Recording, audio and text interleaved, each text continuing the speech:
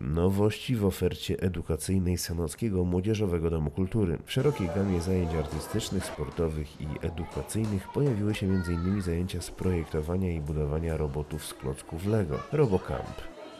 Uczestnicy zajęć najpierw budują z klocków roboty, a później za pomocą specjalnego programu komputerowego je ożywiają.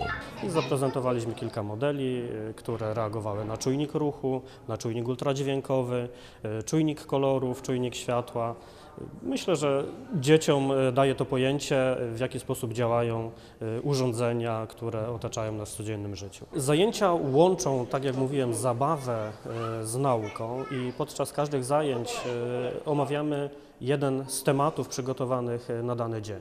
Jeśli budujemy wiatrak, mówimy o odnawialnych źródłach energii. Jeśli budujemy model pompy, mówimy o paliwach kopalnianych.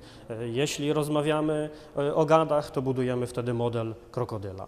Po nieco skomplikowanych zajęciach z robotów można rozerwać się w nowej świetlicy multimedialnej. Sala została wyposażona w Xboxa i zestawy gier, m.in. sportowych i edukacyjnych, ale największym zainteresowaniem, co widać, cieszą się gry taneczne. Zabawa polega na tym, że na ścianie za pomocą projektora wyświetlane są gry taneczne bądź pewne konkurencje sportowe i dany uczestnik e, ma za zadanie odwzorować e, swoim ruchem gesty i pewne ćwiczenia.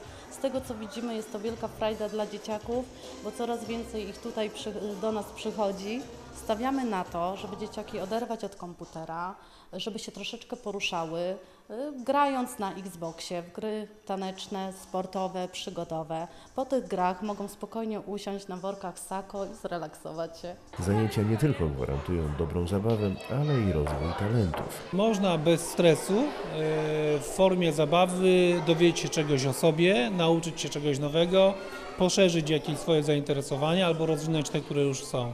Myślę, że generalnie e, jest to formuła bardzo otwarta i nie właśnie nie stresująca, ale faktycznie dzieci e, mogą tutaj zetknąć się z, z pewnymi możliwościami, które być może w nich drzemią, tylko trzeba je wyciągnąć. Myślę, że nasze dziewczyny i nasi instruktorzy są w stanie to zrobić. Z bogatej oferty edukacyjnej placówki rocznie korzysta kilkaset osób. Co ciekawe, są wśród nich także osoby dorosłe. W tym momencie praktycznie wszyscy mogą skorzystać, bo e, robimy szersze e, oferty nie tylko dla maluchów, nie tylko dla młodzieży szkolnej.